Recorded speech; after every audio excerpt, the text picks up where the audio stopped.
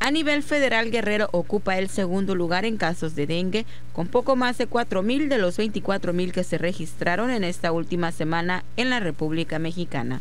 De acuerdo con Gabriel García Rodríguez, director general de epidemiología de la Secretaría de Salud Guerrero, la principal causa de estos números son las altas temperaturas registradas en la actualidad.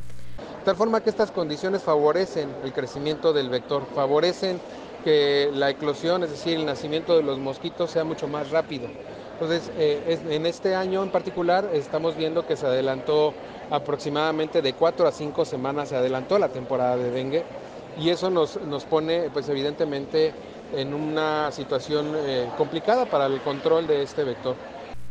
De acuerdo con la secretaria de Salud, Aide Ibares Castro, la región centro encabeza la lista con mayor número de casos con 610, seguido de la zona centro con 593, la región montaña con 430 e indicó que la mortalidad está controlada.